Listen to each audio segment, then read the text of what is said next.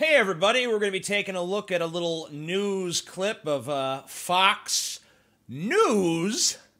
Yeah.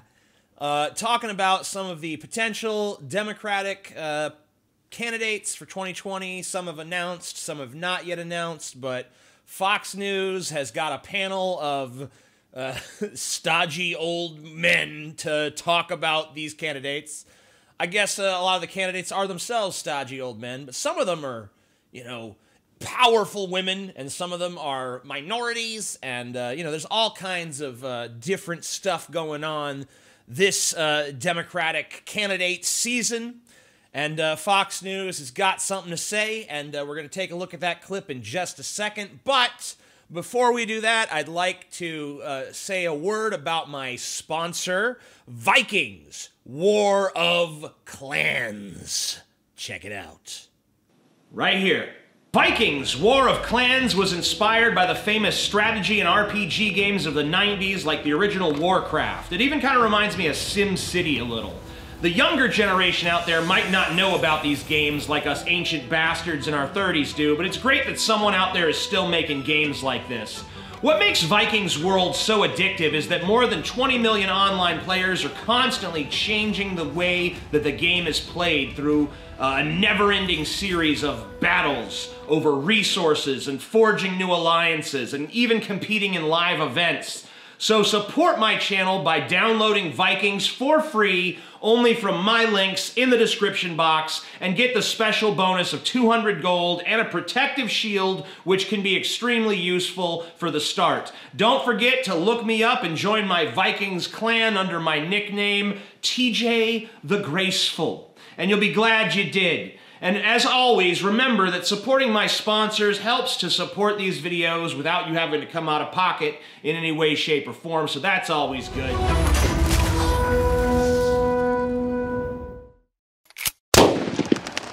Uh, this first thing we're going to look at is uh, a little bit of Fox News stuff. Uh, this is some ridiculous looking bald guy you know, not not that uh, there's anything wrong with being bald. You know, um, you know, I, I, myself plan to rock an awesome skullet at some point. Uh, you know, but uh, this guy here, I mean, I think we can all agree he's absurd.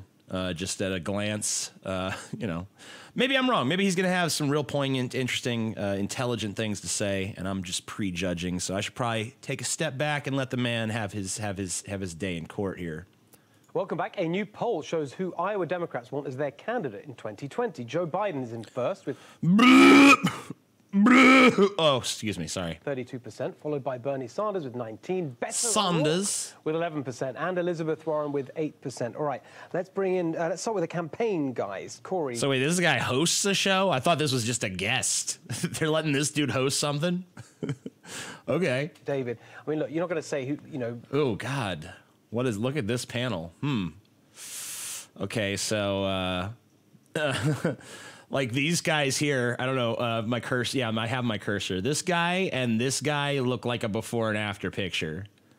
This dude just looks like a smug jackass, and this is just the obligatory hot Fox News chick. And then they're presided over by, you know, uh, Devin Tracy's dad or something. I don't know what the fuck is going on there. Okay, uh, that President Trump is vulnerable to any of them, but just give us your take on that list, particularly Beto. Look, he's a complete. You don't know if President Trump is vulnerable to any of them? Let me make something clear to you. President Trump is vulnerable to anyone. Like, if you ran a. a plank of wood with a fucking face drawn on it against President Trump, the, the plank has a chance. So let's just make that clear.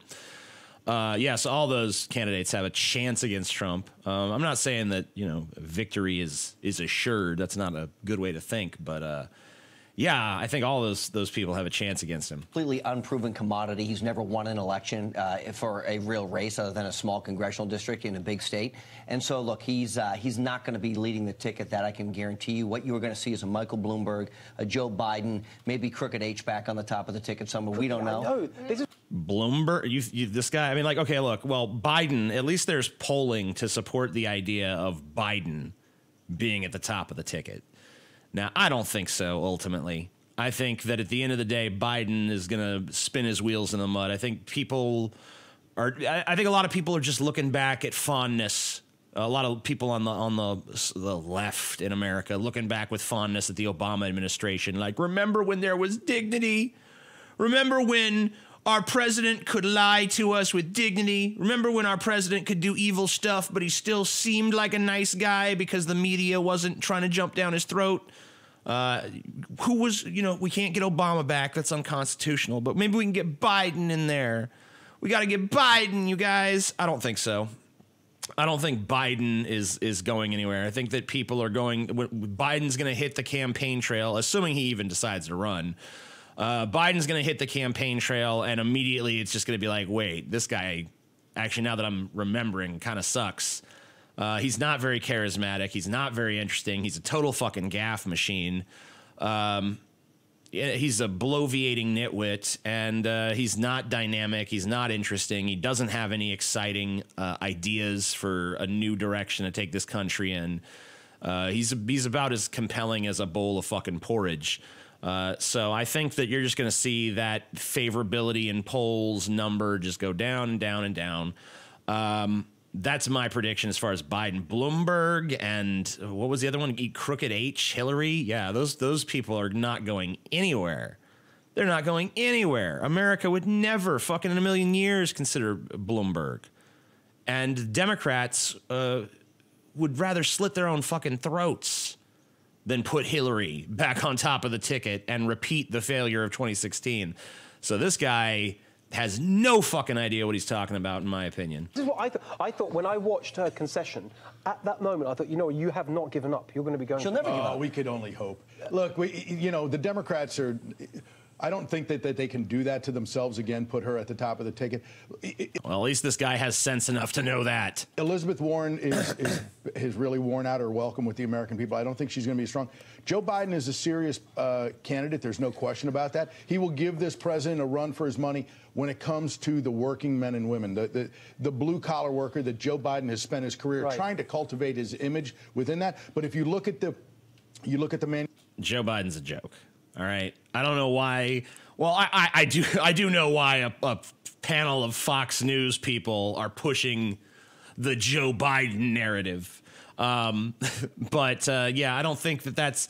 I, I, feel like I got my finger on the pulse of Democratic voters a little bit better than this group, and I'm not feeling I'm not feeling the Biden rumble. Oh, Biden. Yes, Biden is the one. He will lead us to victory. I don't think so.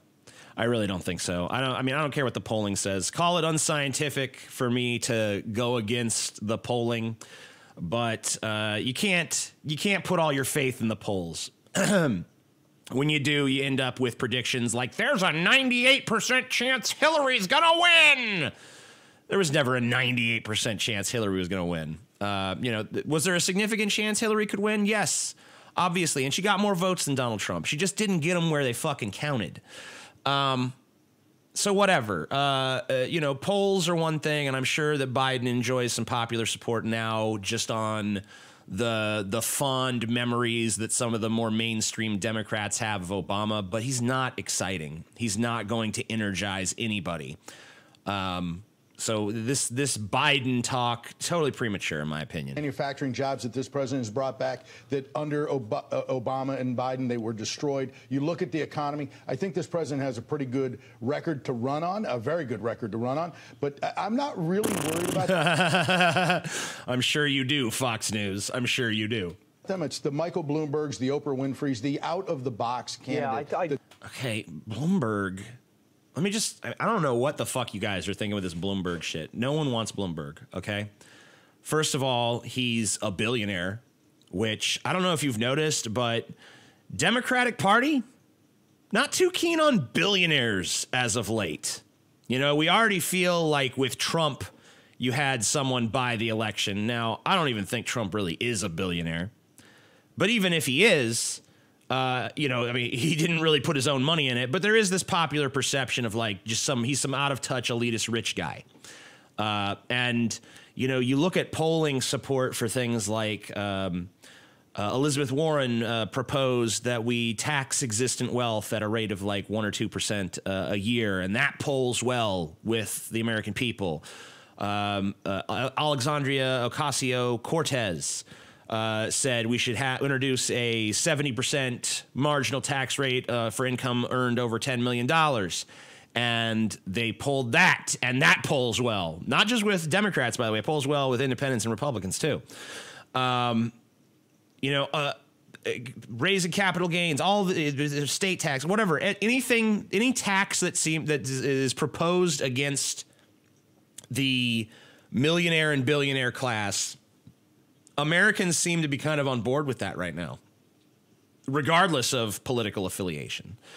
Uh, what that tells me is there is a tremendous amount of antipathy out there towards the billionaire class because I think people recognize that they've gotten a uh, free ride for a bit too long at this point. They've caught a little bit too many breaks, and it's time for them to um, pay a little bit more pay a little bit more into it, especially when so many corporations, like we know, uh, there's been so many years where GM has paid no taxes. We just heard uh, a little while back that Netflix, despite making huge revenues, is paying nothing in taxes.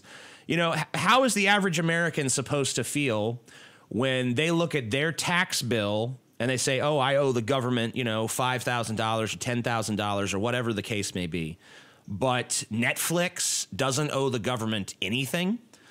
Um, now maybe you know the executives at Netflix or whatever own it, or, or might might owe something, but you know a lot of their money is. Uh, you know, in, in, some sort of uh, tax haven somewhere. You know, they play musical chairs with their money to keep it away from taxation. And they can do that because they're rich and powerful and they know all the right things to do. And they've got high powered accountants that can make sure that they pay virtually nothing. And the American people are sick of that state of affairs. Uh, and we're tired of billionaires. We're tired of the billionaire class. Uh, Jeff Bezos, hugely unpopular guy, left and right, uh, looked at as just a, a stunning piece of shit. Uh, Howard Schultz, the Starbucks guy, trying to get into the election, uh, try, you know, to talk about his presidential run, polling at like 4% across the board, 4% positive uh, ratings across the board, you know, like tiny little chunk of Democrats, tiny little chunk of independents, tiny little chunk of Republicans want Howard Schultz to uh, buy his way into this election process. Uh, so there's a, a, huge amount of antagonism towards the super wealthy in this country. Uh, so to say that Bloomberg, a guy who is, uh, you know, was responsible for such unpopular ideas as we're going to limit the size of a, a soda you can get at a uh, concession uh, stand or a restaurant or whatever. Um, you think that guy, that authoritarian left douchebag, is going to get any traction within the modern day economic uh, populist sort of uh, Democrat Party?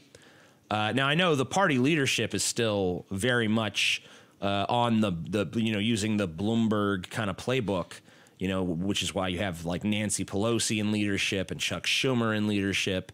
Uh, but it seems to me like the rising stars in the Democrat Party are not, uh, you know, elitist billionaire types.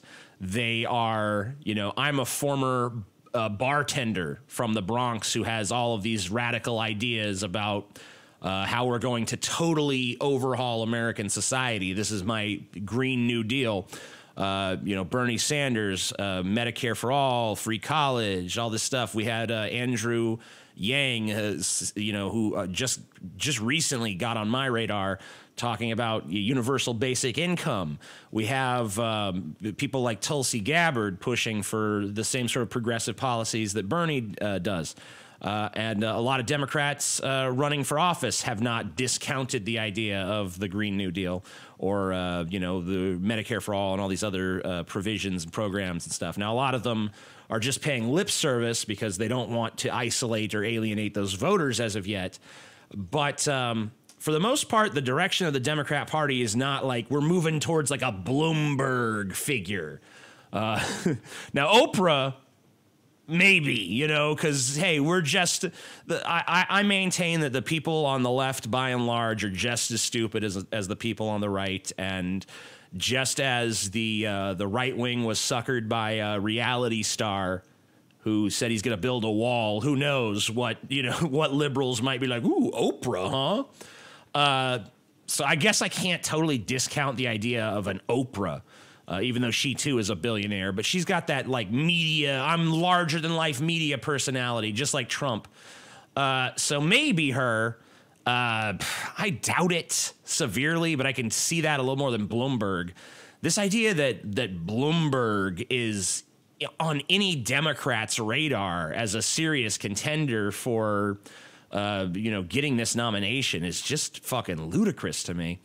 Uh, anyway, I, I've been bloviating for way too long. Let's let the idiots talk. I agree with you about Oprah. Just one thought on so on Beto. Everyone's going about Beto. I was well, first dying... of all, let's talk about it. his real name is Robert. Robert. So let's okay. first of all Beto. let's get that out there in the open. His real name. Oh, that's so relevant. Wow, thanks, blonde-haired bimbo, for your brilliant contribution to the conversation. His real name is Robert. Like, why is that? Who cares? Who gives a shit what his real name is? I don't care if his real name is Robert. Does anyone care? Does anyone that's that doesn't vote a straight R ticket give a shit if Beto O'Rourke was born Robert? You know, I don't. I don't see why anyone could care. So he decided he wanted a cooler sounding name than Robert. Big fucking deal. Who gives a shit? What does that have to do with anything? You idiot. You empty headed fucking cream faced loon. His name is Robert. So that But was no, a- no, no, funny enough, it's the name I was thinking about. I was like, what's his nickname Yeah, shut her up.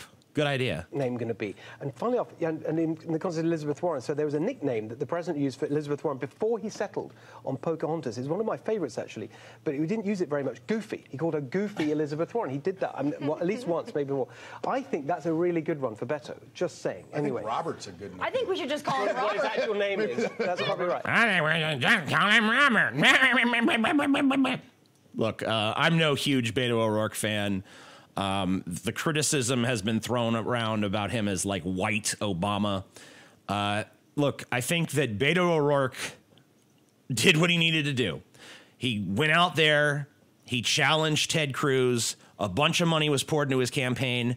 He could not unseat Ted Cruz. He got real close, and it was respectable, and he was a hard worker, and he got out there on the campaign trail, and he visited every single district in the huge fucking state of Texas, and he talked to voters, and he fucking shook hands and kissed babies, did all the stupid shit that politicians in America have to do to get elected, uh, and he didn't make it.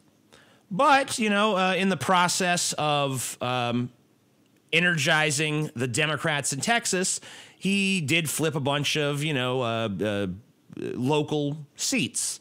Uh, Texas is a much bluer state now than it was before the advent of Beto O'Rourke. But he didn't win, you know, and uh, as much as I hate to admit that any of these people have a point, yeah, he's he's still a loser. Uh, and um, you know, to to take someone who couldn't beat Ted Cruz and say he's going to beat Trump, I mean, like that's like saying, you know, you didn't beat the first level of Super Mario Brothers, but you're definitely to kick World 8's ass. It's like, no, it's actually more difficult to beat Trump than it is to beat Cruz. Now, maybe uh, you could make an argument against me there and say, well, you know, you're in Texas is way more red than America as a whole. Uh, so maybe Beto is just the guy we need. But the problem is he doesn't have, you know, you, you got to have some sort of impressive position to run for president uh, from. Uh, you have to be a governor. You have to be a senator. You have to be at least a powerful congressperson.